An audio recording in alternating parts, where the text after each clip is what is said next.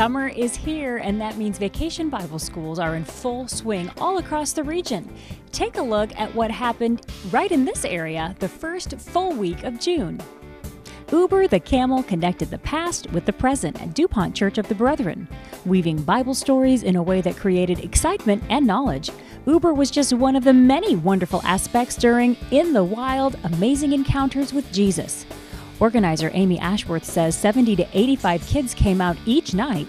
That crew, plus 60 or so volunteers, kept DuPont Church of the Brethren busy every night of VBS week. $478 was collected from the kids' offering, and the attendees voted the money to All God's People, an organization in Chicago that helps the homeless. Through it all, the main focus at DuPont Church of the Brethren was on Jesus. John 20, 31's theme verse became well known to the Bible school attendees. But these are written so that you may believe that Jesus is the Messiah, the Son of God, and that by believing, you may have life everlasting.